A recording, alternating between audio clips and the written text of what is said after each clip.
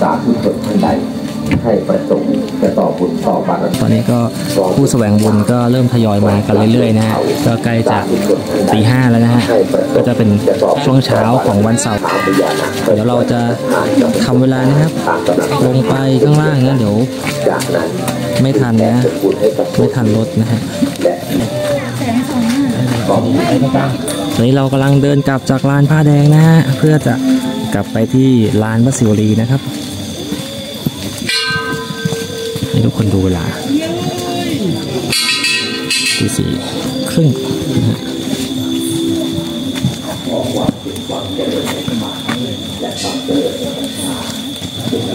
ตอนนั้นนวดได้ไหม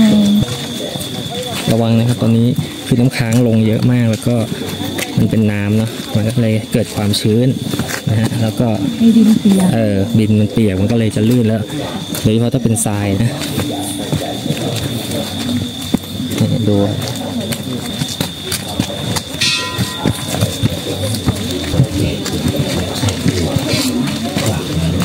คือภาพยนตร์สารคดีชั้นหนึ่งต้อนรับบรรดาท่านสาธุชนเข้าสู่สังฆสถานหลังพระเดช จุดนี้เป็นจุดสุดท้ายของนักแสวงบุญและขอแสดงความยินดีกับท่านทั้งหลายซึ่งเป็นจุดสุดเหตุแห่งบุญคุณเขาซึ่งเป็นสังฆประธานประจำเราก็จะลงเขากันนะครับ ลงเขาจากบริเวณของลานบาทพระอานนท์นะและความเป็นประโยชน์ในมงคลแก่และครอบครัวจากนั้นแล้วเราก็จะไปขึ้นเขากันต่อนะเขาขอตามที่สาธุชนจะพึงปราร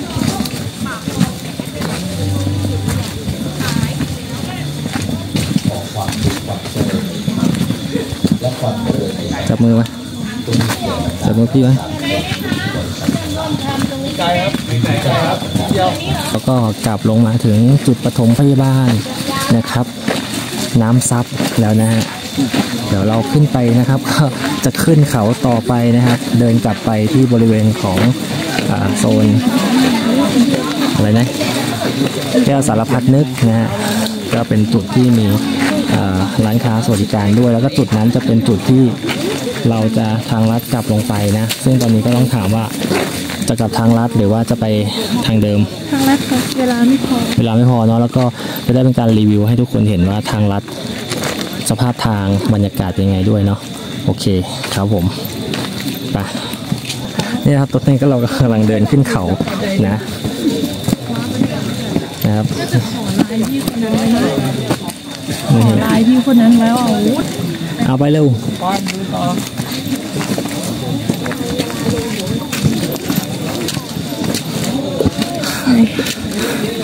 เขาจะมีที่จับไปด้วยนะทุกคนก็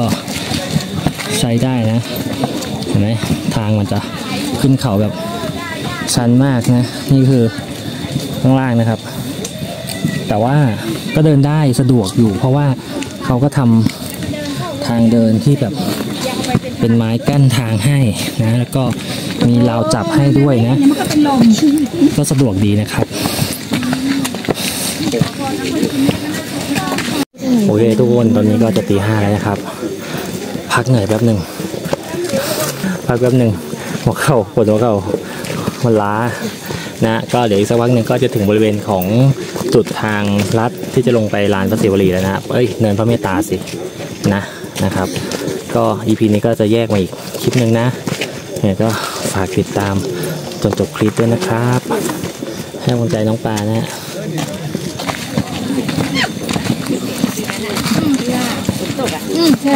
มาแดงกันอยู่นี่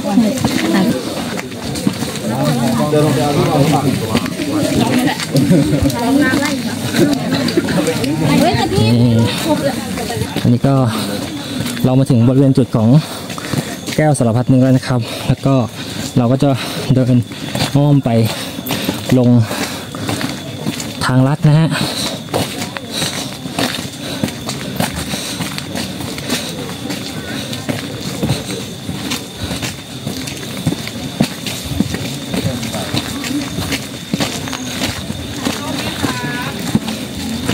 กลับมาบริเวณตรงถ้ำแก้วสารพัดนึกนะ ก็จะเขียนบอกว่า ทางลัดนะครับ ทางลัดลง ทางลัดลงคิวรถนะ ก็คือจะลงไปที่เนินพระเมตตานะฮะก็จะไม่ผ่านรอยพระพุทธบาทนะอันนี้ก็จะลดระยะเวลาในการเดินกลับของเราได้นะฮะโอเค EP นี้เราก็จะรีวิวเส้นทางให้ทุกคนดูนะครับ แล้วบริเวณตรงนี้ก็มีห้องน้ำให้ด้วยนะครับ ทุกคนสำหรับทางลัดเนี่ยก็จะมีห้องน้ำให้ด้วยนะซึ่งก็อยู่ตรงบริเวณของจุดแล้วลงไปหนุนถ้ำแก้วสารพัดนึกนั่นแหละครับอ่าแบบนี้เลยนะครับ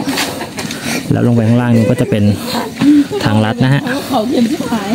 เดี๋ยวเราจะรีวิวเส้นทางบรรยากาศให้ทุกคนดูจนจบคลิปเลยนะยังไงก็ติดตามชมจนจบคลิปกันด้วยนะครับสำหรับช่องของเรานะครับ ตอนนี้ก็มีปุ่ม สนับสนุนนะครับก็คือ Super Thanks นะครับเพื่อนๆทุกคนนะครับเป็นกำลังใจให้เราในการทำคลิป หรือว่าจะสนับสนุน support ช่องก็ได้นะครับ ก็สามารถที่จะให้กำลังใจโดยการกดปุ่ม Super Thanks หรือจะกดไลค์กดแชร์กด subscribe ติดตามช่องของเราก็ได้นะฮะอันนี้ก็ถือว่าเป็นกำลังใจให้ให้เราในการทำคลิปต่อๆไป ให้เพื่อนๆมาชมได้รับชมกันด้วยนะครับยังไงก็ขอบคุณล่วงหน้าเลยนะครับผม เราไปกันต่อครับ ไปถึงห้องน้ำไหม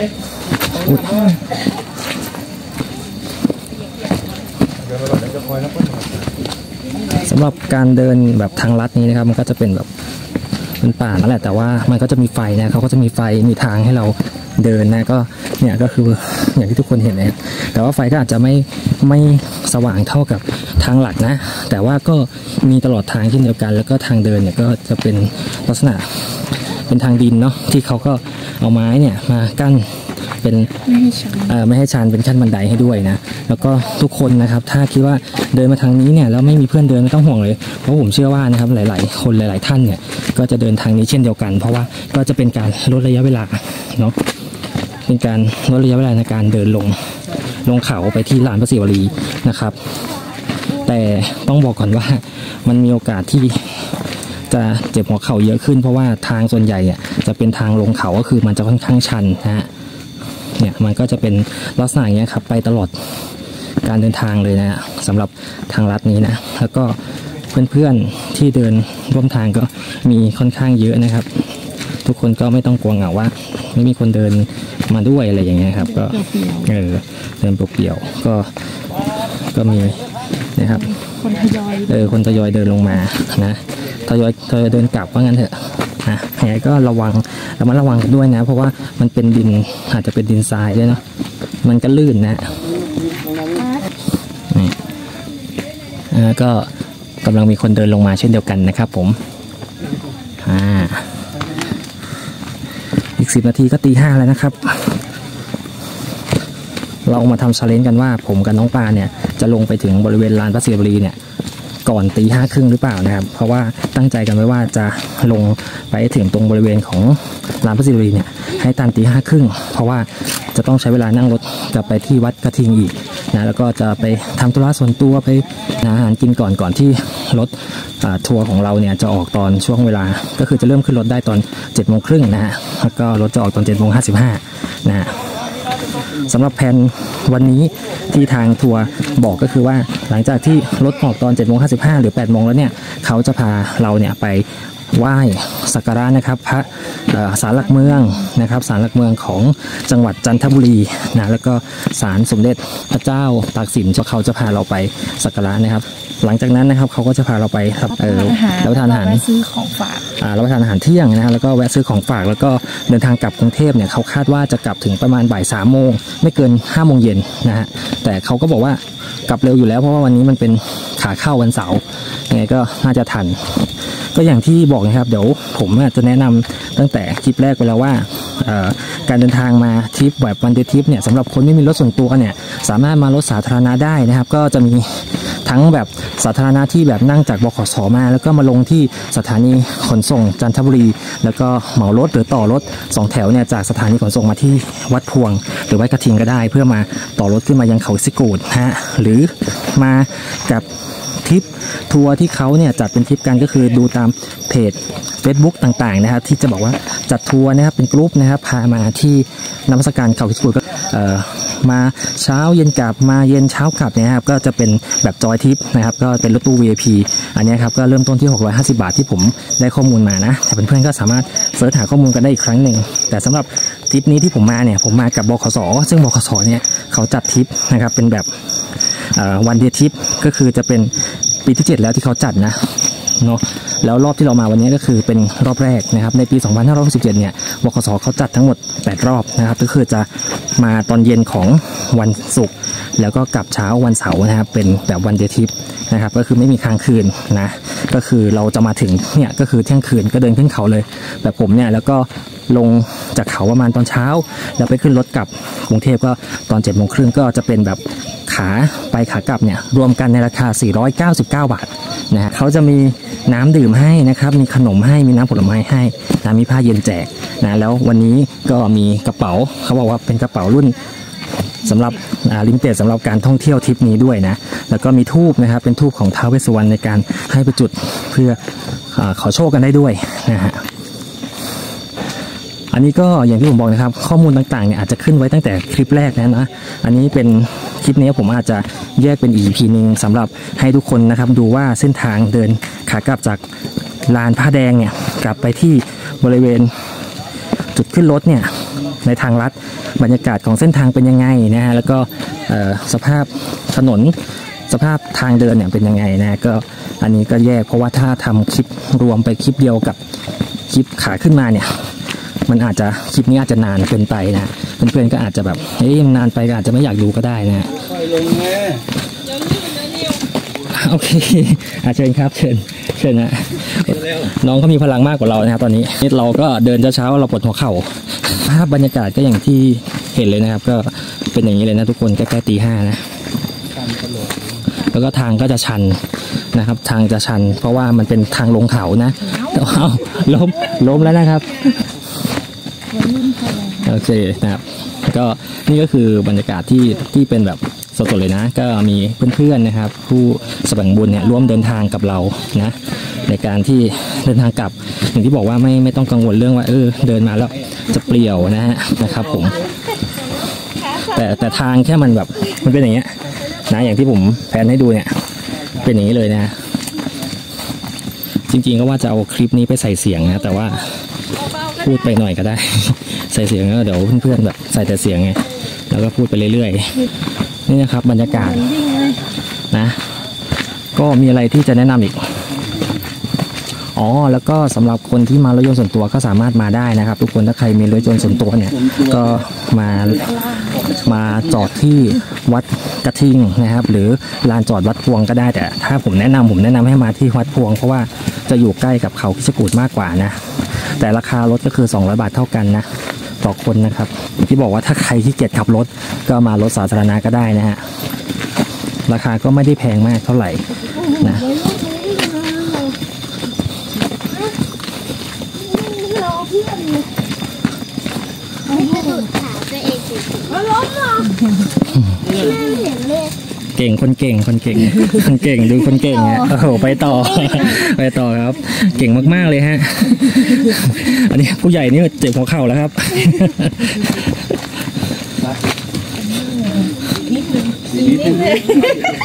อุ้ยสำนึกผิดไม่ทันแล้ว ใกล้แล้วครับ ใกล้แล้วครับ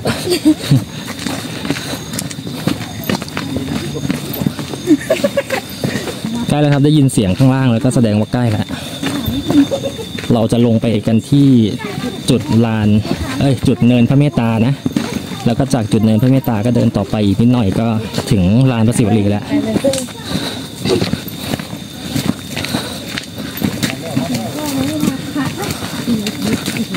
ทางมันจะชันตลอดนะครับ เพราะว่ามันเป็นทางลงเขานะ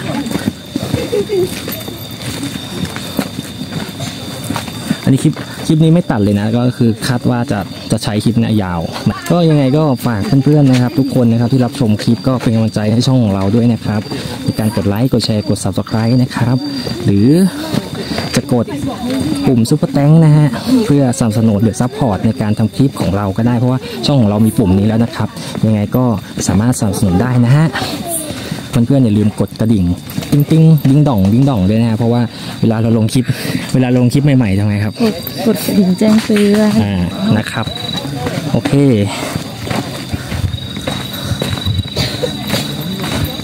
นี่จะถึงแล้วนะฮะข้างล่างนะทุกคนที่ทุกคนเห็นไฟก็คือน่าจะเป็นจุดบริเวณที่เราจะลงมาแล้วนะครับ คือลานพระสิวลีเฮ้ยไม่ใช่ เนินพระเมตตานะฮะสามโมงถึงถึงใช่อยู่น้พลังหมดำกำลังหมด แต่ไม่เป็นไรครับ ถ้าทุกคน support ช่องของเราผมก็ยินดีครับทำคลิปแบบนี้เรื่อยๆ นะให้ทุกคนได้ชมบรรยากาศนะฮะหวังว่าทุกคนจะชอบคลิปนี้นะครับ ถ้าใครนะครับไม่สะดวกมานะครับน้องปาให้เพื่อนๆทุกคนนะครับ ได้อนุโมทนาบุญร่วมกับเราเนาะใช่ไหมครับอ่าสามารถอนุโมทนาบุญร่วมกับเราได้นะ เราก็นำบุญมาฝากทุกคนนะครับ ระวังลื่นนะตรงนี้มันมันจะเป็นดินทรายนะ ดูพื้น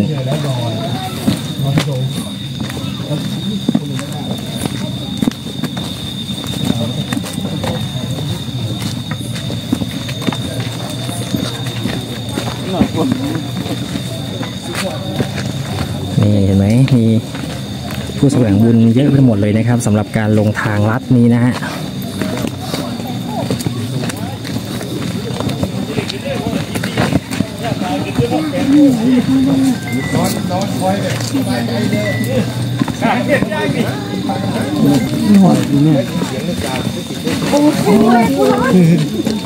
ระวังครับระวัง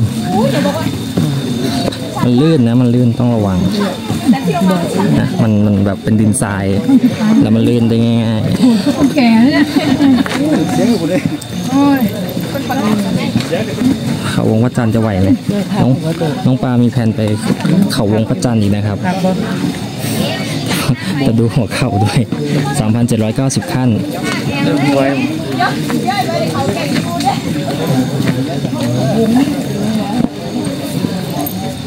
นี่อันนี้อันนี้ยิ่งชันมากๆเลยครับไงก็ระวังกันหน่อยนะ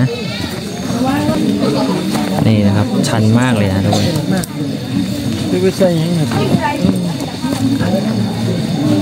ไก่เลยไก่นะโอ้ยังชันเลยนะ อ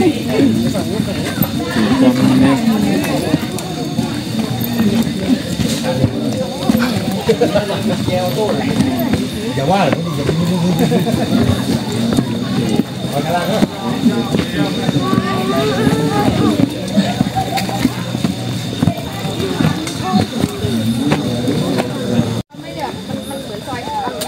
แล้วมันอย่างเงี้ยเนี่ยบันไดมันมันเป็นแบบว่าทีละอย่างเงี้ยอย่างเงี้ยทีทีแบบเหมือนถ้าบันได งี้ยอย่าเงี้ยไม่ได้เป็นต่างนี่นะแต่นี่ก็ถูกขาดได้เลยจ้ะค่ะ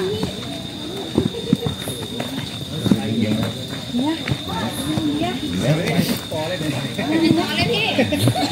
น้าไปดูพี่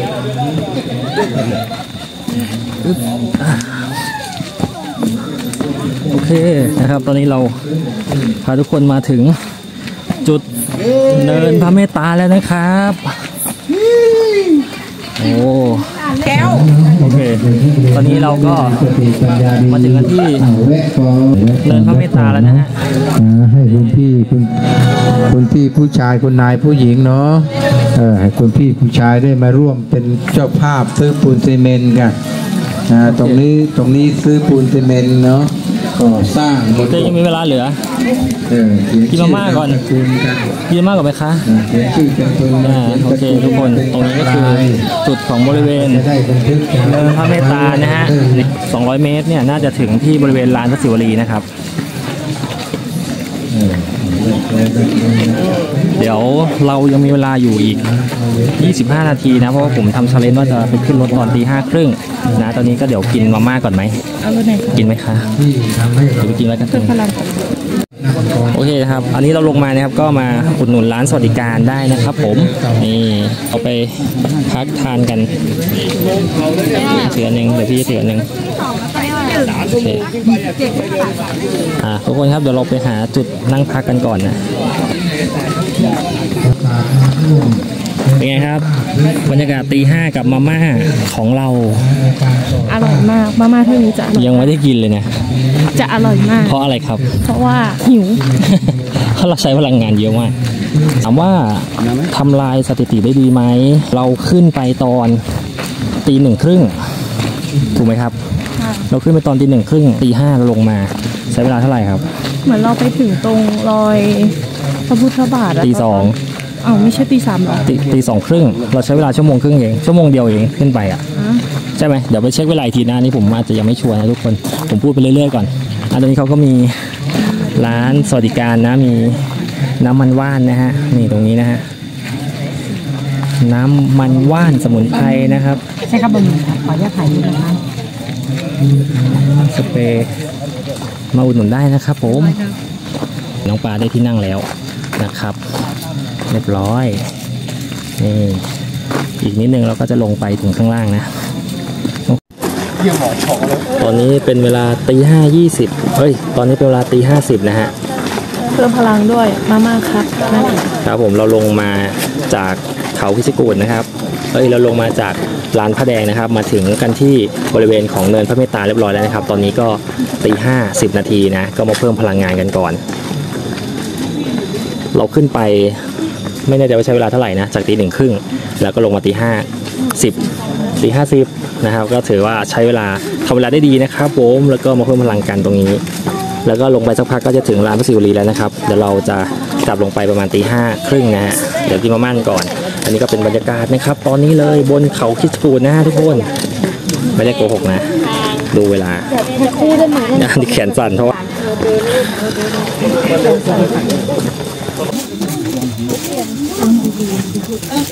โอเคทุกคนนะก็เราจะลงไปกันต่อนะฮะหลังจากที่เราเพิ่มพลังด้วยมาม่าแล้วนะฮะนี่ทางนะครับทางก็อย่างที่บอกนะครับขาขึ้นเนี่ยมันจะดีมากๆเลยนะครับ เพราะว่าเป็นทางที่เขาเขาทำไว้นะก็จะเป็นเขาเรียกอะไรปูด้วยเออเป็นทางเนี่ยเป็นทางอิฐอิฐบล็อกนะแล้วก็ เป็นระเบียงไม้หรือต่างๆเนี่ยมันก็จะไม่เหมือนกันที่เราเดินไปที่ที่ไหนผ้าแดงผ้าแดงนี่คือขึ้นเขาลงเขานี่แบบสุดยอดเลยนะฮะถึงแม้ระยะทางนะครับของจากบริเวณลานพระศิวลีไปถึงรอยพระพุทธบาทเนี่ย 1.2 กิโลเมตร กับจากรอยพระพุทธบาทไปลานพระแดงประมาณ 500 เมตรประมาณนะ 500 เมตร ใช้ระยะเวลาผมว่าพอๆกัน เพราะตรงลานพระแดงเนี่ย ทางมันชัน ขึ้นเขาลงเขาแล้วก็มันเดินยากนะมันก็เลยต้องใช้เวลานาน พอๆกับระยะเวลาที่เราเดินไปรอยพระพุทธบาทนะระยะเวลาอะไรนะถนนหนทางที่ยากลำบากก็เหมือนอุปสรรคในชีวิต พูดไม่ถูกแล้ว พูดอะไรเนี่ยเมื่อกี้ระยะทางที่ดูลำบากก็เหมือนอุปสรรคในชีวิต จะต้องเผชิญ ถ้าเราเดินไปถึงที่จุดหมายได้ก็จะประสบความสำเร็จเลยในไหนๆก็เดินขากลับแล้วเดี๋ยวแวะนิดนึงนะ ตอนขามานี่หมอกเต็มใช่ครับเดี๋ยวเราแวะนิดนึงนะครับ ก็พาทุกคนมาชมเทศกาลของอุทยานแห่งชาติเขาคิจกูดนะฮะไหนๆเราก็ลงมาแล้วนะครับ EP นี้ก็เลยเป็นการนำเอ่อพาทุกคนชมนิทรรศการของอุทยานแห่งชาติเขาคิจกูดกันเลยนะครับนะนี่ก็จะมี บอกว่าการลาดตระเวนเชิงคุณภาพคืออะไรนะฮะแล้วก็มีข้อมูลให้พวกเราดูนะ ว่าภารกิจของอุทยานแห่งชาติเขาคิดกูดเนี่ยเขาทำอะไรกันบ้างนะทุกคนนะครับนี่นี่ก็จะเป็นการจัดนิทรรศการแบบย่อมๆนะครับนะก็จะมีบอกว่าแหล่งท่องเที่ยวในอุทยานแห่งชาติเขาคิดกูดมีอะไรบ้างนะ ตรงนี้ก็จะมีบอกนะครับ อะถ้าเป็นตำบลพร่วงนะฮะอำเภอเขาคิดกูดนะครับ ก็จะมีนี่ไงรอยพระพุทธบาทนะฮะเขาคิจกูดนั่นเอง แล้วก็ถ้าเป็นตำบลฉมันอำเภอมะขามนะก็จะเป็นน้ำตกคลองทุ่งเพลนนะครับ มีลานกลางเต็นท์นะฮะหรือจะเป็นตำบลพลวงอำเภอเขาคิจกูดก็จะมีน้ำตกกระทิงนะฮะนี่ หรือจะเป็นตำบลตะเคียนทองอำเภอเขาคิจกูดนะก็จะเป็นน้ำตกคลองไพบูลนะทุกคน นี่ก็เป็นแหล่งท่องเที่ยวนะครับที่อยู่ภายในแหล่งท่องเที่ยวอุทยานแห่งชาติเขาคิจกูดนะฮะอันนี้คือพี่ๆเขาแนะนำไว้นะครับ นี่ก็เป็นบรรยากาศนะครับของบริเวณของจุดนะครับนิทรรศการอุทยานแห่งชาติเขาคิจกูดนะ ก่อนที่เราจะลงไปบริเวณด้านล่างที่ลานพระศิวรี และด้านข้างนะครับ ก็จะเป็นจุดจำหน่ายร้านค้าสวัสดิการนะฮะก็จะมีมาม่าเหมือนกันนะครับ มีน้ำดื่ม มีไข่ต้มซาลาเปาขนม พวกนี้ก็สามารถที่จะมาอุดหนุนได้นะครับ จากฐานป่าไม้นะครับนิทรรศการอุทยานแห่งชาติเขาพิจกูดนะ เราก็จะเดินลงกลับมากันที่ ข้างล่างนี้นะฮะก็จะเป็นระเบียงไม้นะ เอาไว้สำหรับพักนะครับ เป็นจุดแวะพัก ตอนขึ้นไปแล้วก็ขาลงด้วยนะก็จะอยู่ใกล้กับร้านพระศรีวรีนั่นเองนะครับ ทุกคน จะตีห้าครึ่งแล้วนะฮะทำเวลาครับทำเวลา เพราะชาเลนจ์คือต้องลงไปถึงข้างล่าง ที่ร้านพระศิวรีก่อนตีห้าครึ่งครับไม้ก็จะเป็นหินพระนอนนะฮะตัวคุณละร้อยเดือน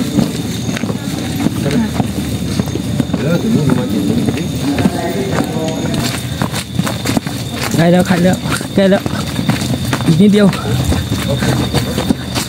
อีกนิดเดียวครับ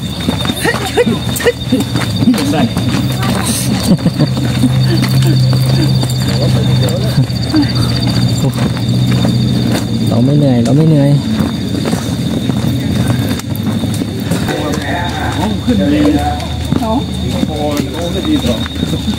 นะครับตรงนู้นข้างบนนะฮะ หายตรงนี้แล้วเดี๋ยวเที่ยงนี่มันควรจะลงว่าร้อนร้อนร้อนถ้ารอให้สว่างลงมาน่าจะสายอยู่นะ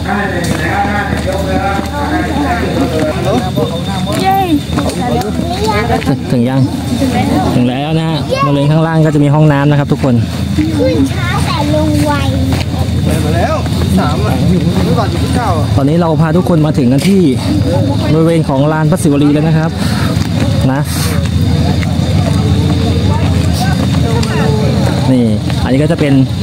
จุดประชาสัมพันธ์ของวัดกระทิงนะฮะก็เป็นจุดขึ้นรถของวัดกระทิงนั่นเองนะครับ